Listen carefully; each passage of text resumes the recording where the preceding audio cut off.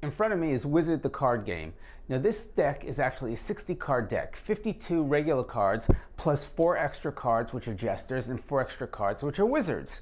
Now this game plays a little bit like hearts, a little bit like bridge, but more like spades in that you start out that everybody gets one card and the idea is to take the trick. You have to bid how many tricks you're going to get and if you get that number you get a certain number of points. If you get bonus tricks you get extra points. After you play one card, everybody gets two cards and three cards, etc. Now, the two things that are different about this is you actually have wizard cards that are involved, and the wizard cards trump any other card, or they're jester cards and four of them in the deck. And if you have a jester in your hand and you have to play it, you automatically lose the hand. So it's a little twist on these classic card games. Now this is from US Game Systems and it's for ages 10 and up. Come visit us at timetoplaymag.com and check out all the card games.